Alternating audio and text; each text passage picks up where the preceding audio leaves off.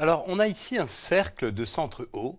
Et puis, tu vois, on a tracé aussi euh, euh, ce segment-là, le segment OD, et on nous dit que OD est un rayon du cercle de centre O. Effectivement, le point D est sur le cercle.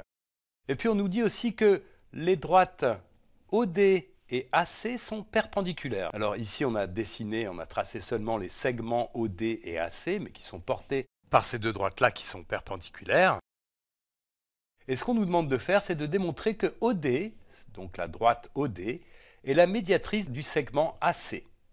Alors je te rappelle que la médiatrice d'un segment, c'est une droite qui est perpendiculaire à ce segment et qui passe par son milieu. Hein. Donc ici, ce qu'il faut qu'on fasse, c'est qu'on arrive à démontrer que le point M est le milieu du segment AC. Le point M qui est donc le point d'intersection de OD et de AC. Alors, comme d'habitude, je t'encourage à essayer de réfléchir à ça de ton côté, et puis après, on se retrouve pour voir ça ensemble. Alors, maintenant que tu as réfléchi, on va le faire ensemble, et ce que je vais faire, c'est considérer, en fait, je vais tracer deux triangles qui vont être des triangles égaux. Alors, le premier, c'est le triangle MOC, je vais le tracer comme ça, voilà, le segment OC, et puis le deuxième triangle, c'est le triangle AOM, donc je vais tracer ce côté-là, le segment AO. Et ce qu'on peut dire, c'est que le segment OA a la même longueur que le segment OC, donc OA est égal à OC, cette longueur-là et cette longueur-là sont les mêmes. Et ça c'est vrai parce que comme A et C sont deux points du cercle, eh bien les segments OA et OC sont deux rayons du cercle. Hein. Alors je peux l'écrire, car OA et OC sont des rayons du cercle. Sont des rayons du cercle. Alors, autre chose qu'on sait, c'est que le triangle OAM et le triangle OCM ont un côté en commun, c'est le côté OM, celui-là. Donc ça, je vais l'écrire. OM le segment OM est un côté commun, un côté commun aux deux triangles, aux deux triangles OAM et OCM.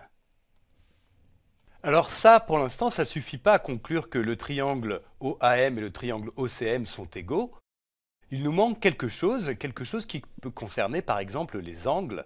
Et ce qu'on sait ici, c'est que le triangle OAM et le triangle OCM sont tous les deux des triangles rectangles. Alors ça, je vais l'écrire ici. OAM et OCM sont des triangles rectangles.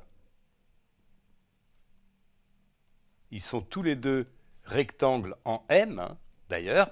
Et pourquoi je sais ça? Bien tout simplement parce qu'on nous a dit que la droite OD coupait la droite AC perpendiculairement. C'est bien représenté ici par le codage. On a un angle droit ici et un angle droit là.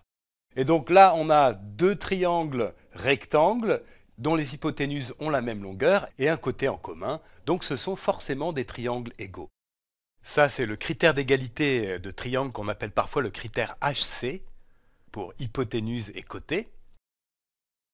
Donc ici, ce qu'on a démontré, c'est que les triangles, alors j'aurais dû le faire dans l'autre sens, la présentation n'est pas très très bien, mais enfin, c'est ces trois éléments-là qui nous permettent de, conclure que le triangle OAM et le triangle OCM sont égaux. sont égaux.